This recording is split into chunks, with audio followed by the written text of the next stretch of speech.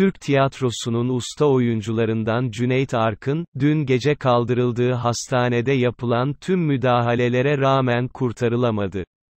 Ölümüyle sevenlerini ve sanat dünyasını yasa boğan Arkın, 30 Haziran'da Atatürk Kültür Merkezi'nde yapılacak törenin ardından Zincirlikuyu Mezarlığı'nda son yolculuğunu uğurlanacak.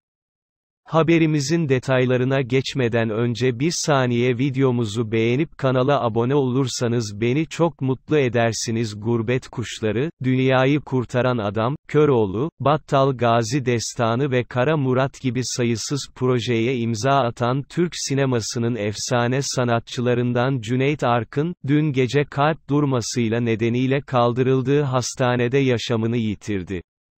Tüm müdahalelere rağmen kurtarılamayan usta sanatçının cenaze programı belli oldu. Cüneyt Arkın'ın ölümüyle ilgili hastaneden açıklama yapıldı.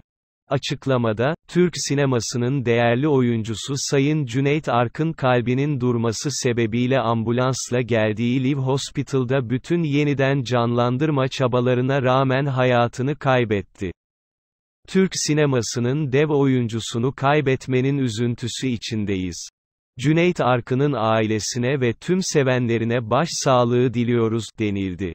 Cüneyt Arkın'ın şahsi hesabı üzerinden paylaşım yapan ailesi, cenazeye ilişkin açıklamada bulundu.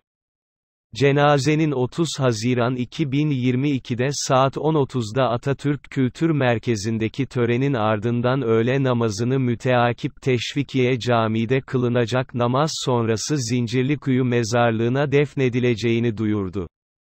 Şimdilik videomuzun burada sonuna geldik. Gündeme dair gelişmelerden anında haberdar olmak istiyorsanız aşağıdan kanalıma abone olup bildirimleri açabilirsiniz renkli sayfalar.